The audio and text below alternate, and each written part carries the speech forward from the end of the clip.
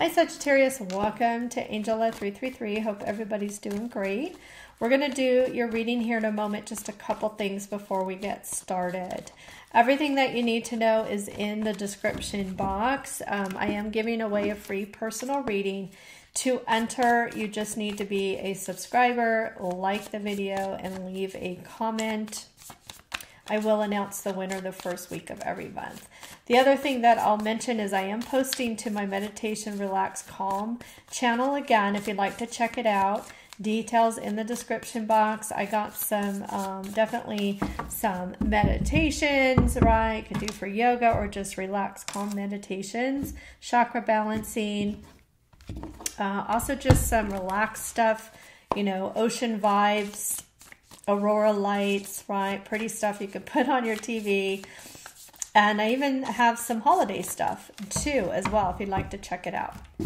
So, with that, let's get started here, Sagittarius. Let's see who's coming towards Sagittarius. Who's coming towards Sagittarius? Okay, interesting. We got unrequited love. Okay, maybe somebody who um, you know wasn't interested in the past or maybe somebody you felt rejected from. But it could mean something else. Let's see what else do we have. We have retreat.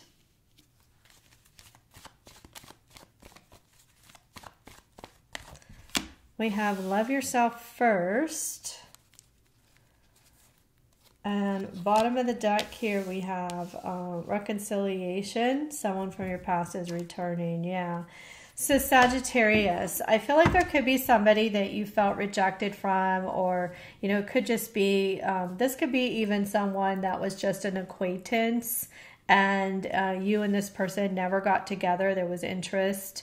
Uh, definitely pick up here um, an energy of distance or separation. Love yourself first. Okay, this could be somebody too that you, you know, maybe you made the decision not to pursue because you chose you. All right, I'm getting that as well. And then you have reconciliation from uh, someone from your past is returning. So I definitely get an energy that this is somebody that you know, someone who is coming towards you. Let's see what else the energy shows, right? And don't shoot the messenger. I know people will say, oh, I don't want somebody from the past. Well, uh, that's what the cards show me here, right? If you're still thinking about the past, then you're going to manifest the past. All right. Oh, gosh. Some of my cards got turned around. I don't do reversals. We got the Ace of Swords. We have the Page of Swords. Yeah, somebody's very curious about you. They could even be trying to figure out what you're up to, maybe even spying. Let's see here. We got the Ten of Wands. I think I just have my deck upside down. And we have the Six of Cups. Soulmate energy there.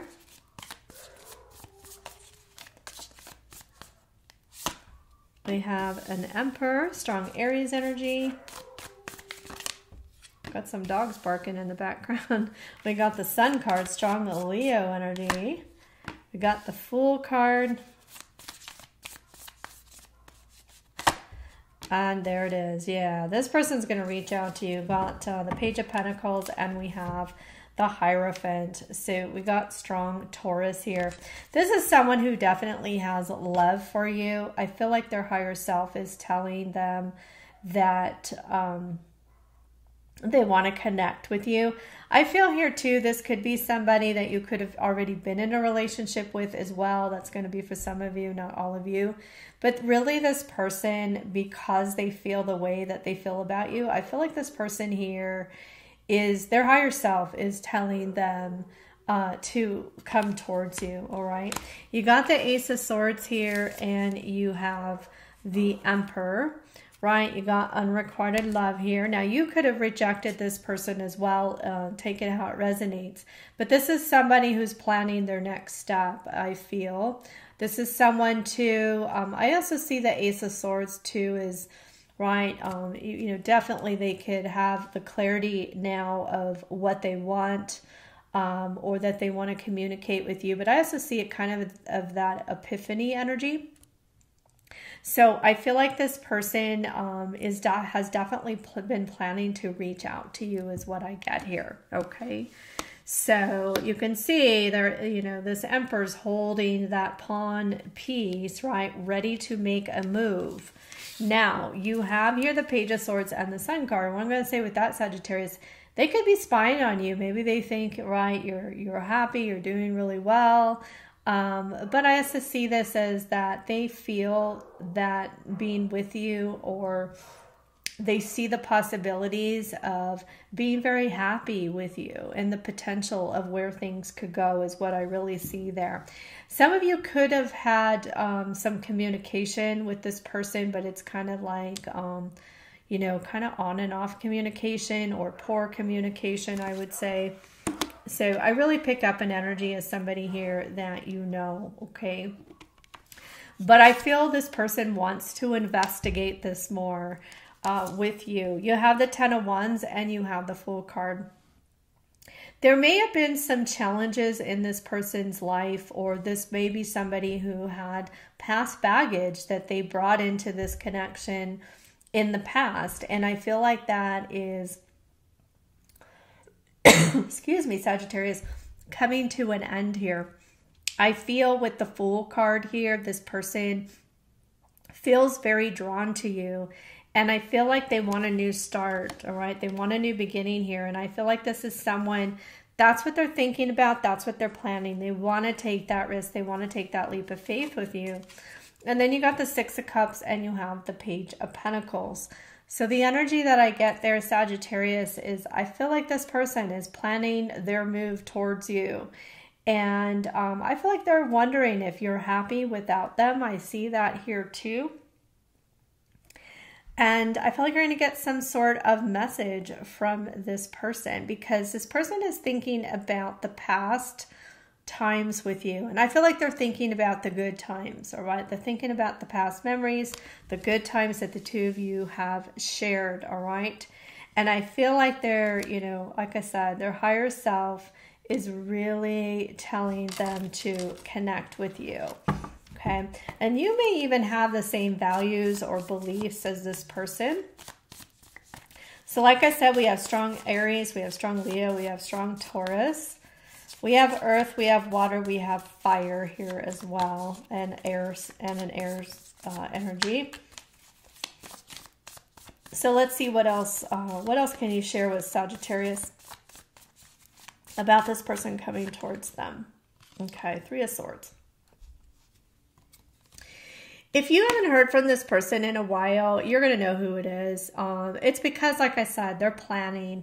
I feel like they're planning here to figure out, you know, what they're going to say, how they're going to come towards you, because it does feel either they're hurt, you're hurt, or maybe both of you were hurt in this connection, right? There was definitely somebody here who felt rejected. And so I feel like that's part of this person, you know, you, they're their thought process of what they're going to say and how they're going to come towards you. Yeah, Five of Cups. There was some sort of disappointment from the past here. Oh, look at that. Yeah, Eight of Swords. They've been in their head about it. Definitely been in in their head about it. That's why there's been some time, some distance. Oh gosh, here it is again. Nine of Swords. This person can't stop thinking about you. Now, they may have something on their conscience as well. Eight of Pentacles, but they know, right? They know that they want to work on this. And the Queen of Wands, yeah. So they're getting ready to take action. Um, and also, too, they're very, very attracted to you. And bottom of the deck here, you got the Four of Wands, all right? So some of you could even be a twin flame here, but if this was someone who, you know, things were never stable or this person never took things to the next level, I feel like that is changing here. This person, um, like I said, they've had an epiphany here And look, you also have here the Knight of Cups. So they're coming towards you in a romantic way. They have love for you. And I'm going to say here the Queen of Pentacles is here as well, which is telling me that this is someone who they see your value. And maybe they didn't in the past, or there was something, um, some sort of burden or baggage from their past that prevented them from seeing it. So Sagittarius, let's uh, pull your Kipper cards. Oh, look at that. First card that popped out is the message card. So you're going to get some sort of message here from this person. Like I said, they've been planning this communication from what I can see. You got courthouse. Okay, that's about second chances, right? Um, this person has definitely thought about what has happened in the past and uh, they're coming towards you wanting a second chance here. Oh boy, didn't I say it? I said this person is wanting something more stable, wanting something more serious. And then we have community on the bottom of the deck. So I feel Sagittarius, this is about connecting, right? Communication. Uh, you know, you you reuniting with this person this also could be somebody who lives in your community as well, or you may have mutual friends. But I feel, Sagittarius, that um, there's someone who wants something stable with you, wants something more committed, um, you know, whether you want that or not. So, Sagittarius, I hope uh, you enjoyed this reading. I hope you all have a wonderful rest of the day or evening. And I'm sending you angel love.